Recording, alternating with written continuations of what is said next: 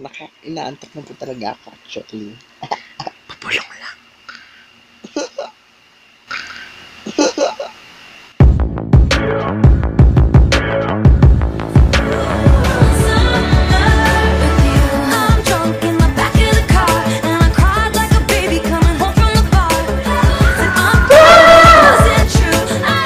Pinatatawa ko siya.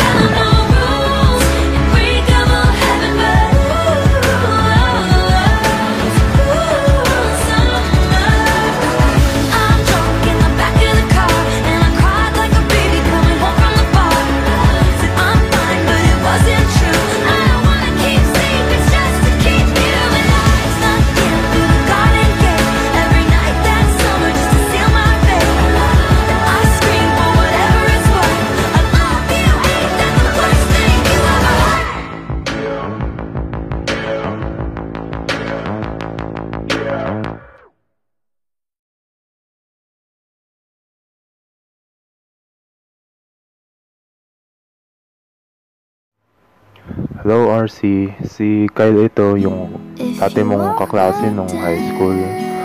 Um, long time no see, balita ko kaarawan mo na.